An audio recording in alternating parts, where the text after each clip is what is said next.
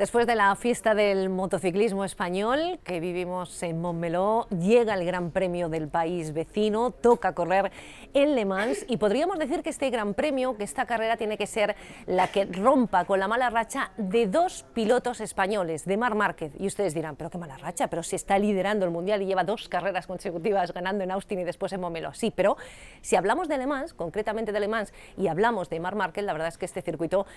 bueno, pues no es el circuito del Deridano. En las tres últimas carreras, en las tres últimas temporadas, el piloto español eh, ha tenido muchos problemas para alcanzar el podio y ha estado más en contacto de la puzolana, es decir, esos espacios que quedan libres para cuando se salen los pilotos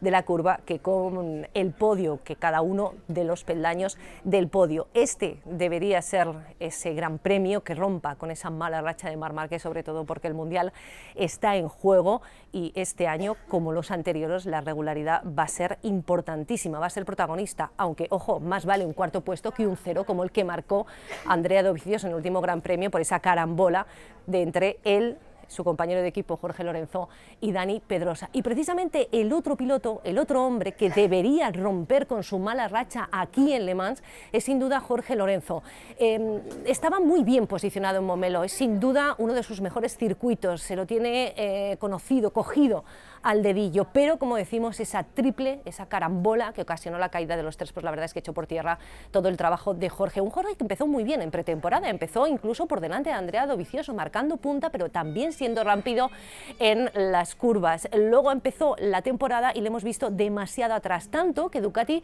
no ha hablado con él para la renovación y si lo hace tendrá que ser a la baja. ¿Oportunidades fuera de Ducati? Pues pocas, porque va a quedar como mucho el asiento de Dani Pedrosa, pero yo la verdad es que no veo a Mar Márquez dando el visto bueno para que entre otro gallo al gallinero de Honda y Suzuki, la verdad es que le veo demasiado pequeño para las aspiraciones de Jorge. En cualquier caso, sí que eh, parece que va a renovar Dovicioso, será oficial muy hielo, pero no se sabe qué va a ocurrir con Jorge. Por eso Jorge debe eh, intentar coger el toro por los cuernos, en este caso a la Ducati por los manillares y empezar a, navegar mejor con ella. El problema es que no se hace con ese neumático delantero, que le vemos y se ve perfectamente cómo le cuesta meter la moto en curva y tiene que empezar a dominarla ya si no quiere terminar con este proyecto, pues como terminaron otros como Valentino Rossi. Así que mucha atención a esas aspiraciones de Mar Márquez por llegar a lo más pero también de Jorge Lorenzo por por fin hacerse un hueco.